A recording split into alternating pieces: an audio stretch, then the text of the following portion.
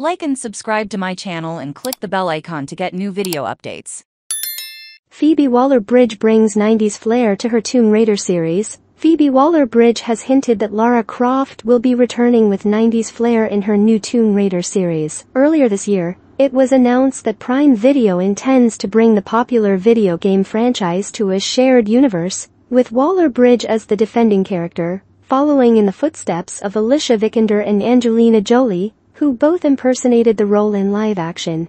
This will mark the multi-hyphenator's second appearance as an archaeologist, following her role in the latest film Indiana Jones played Indiana Jones' goddaughter Jones, and The Dial of Destiny, the opportunity to have a female action figure having worked on it and worked on it as an actress. I feel like I prepared myself for it, Waller-Bridge said. What, if, with everything I've learned, I could take over the reins of an action franchise with a character I adore, while bringing back some of that 90s vibe. It's such a wonderful feeling to think you know what you're supposed to do. I feel like working in the industry is about riding the waves and leaning in she remarked. There's room to do something really, really dangerous, and if I can do something dangerous and exciting with Tomb Raider, I already have an audience of people who love Lara and hopefully will continue to love her, she added, and that's a very unusual position, it's the ancient Trojan horse.